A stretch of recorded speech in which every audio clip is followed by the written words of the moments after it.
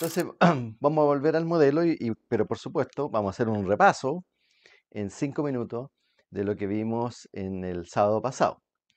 Y, eh, y, y vimos en la primera clase esta cosa bastante como em, eh, precisa y sesuda respecto al aprendizaje generativo, que en realidad es una recopilación de aquellas actividades que hemos visto en, en- en casi en, en todos los, los módulos de este curso, que existe algún fundamento basado en ciencia del aprendizaje, que principalmente ha sido psicología cognitiva, que em, apoya su uso y su influencia en el aprendizaje.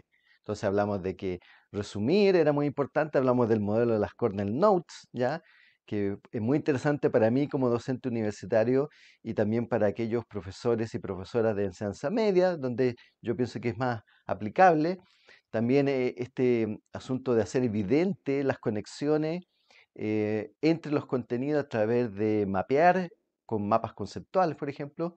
Otra cosa que, que está relacionada con el mapear, que es, es, eh, tal vez dibujar eh, las conexiones de los contenidos a través de, de, de trabajo, no solamente partiendo de cero, sino que con predibujo para revelar la conexión de los contenidos.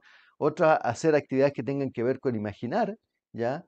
Con a- hacer eh, partícipe activo de aquellos procesos cognitivos que vimos que eran importantes y que está involucrado el imaginar la autoevaluación, ¿ya? Que eh, eh, bueno tener como un set de, de preguntas para autoevaluarse, no simplemente recitar. Vimos que era muy distinto autoevaluarse de recitar el contenido. El, el, el auto, el autoexplicar, ¿ya? Que también vimos que eh, era como jugar a ser profesor con uno mismo, ¿ya? que era súper importante, el enseñar a otro, el aprendizaje en, en- en pares, hay modelos de eso, de enseñar a otra persona y eso refuerza el aprendizaje.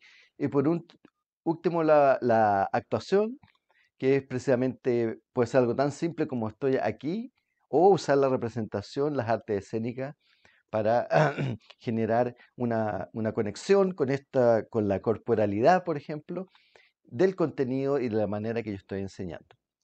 Y el aprendizaje generativo se, se fija en esas cuatro, o sea, esas ocho eh, evidencias que, que hay trabajo detrás de eso. Ahora, eh, por eso yo mencionaba y resaltaba al principio lo de Mariel Hardiman, que aquí no está el clima emocional, ¿verdad? No obstante, vimos que era muy importante eh, para el aprendizaje. Lo vimos mucho en el contexto de establecer inicialmente en una clase el clima emocional, ¿ya?